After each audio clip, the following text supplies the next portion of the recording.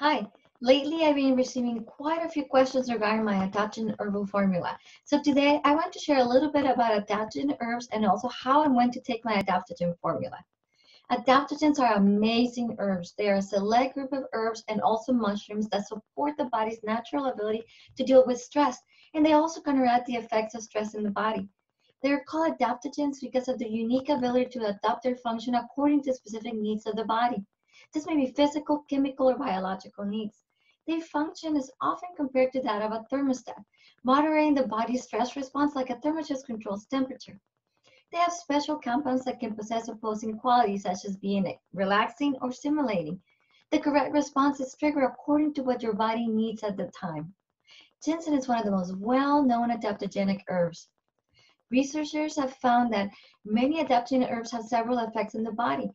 They have neuroprotective elements, their anti-fatigue properties, antidepressive effects, regulate the nervous system, anti-tumor, anti-cancer, and they also support the immune system, among many, many other activities. I have designed an adaptogen formula that not only supports the adrenals, but also your entire body.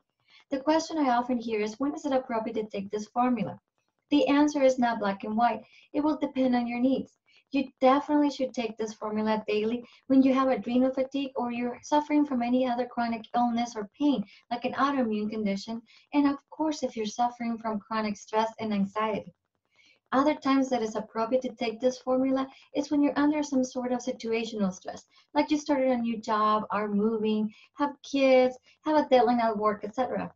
Now, adaptogens work at a molecular level, so even if you feel good when you're taking the formula, you will still need to continue taking it for at least a week after the stressful situation has ended.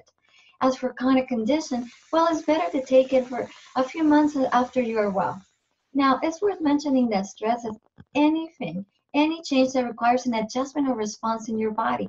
So even positive life changes like a promotion, a mortgage, or the birth of a child produces stress.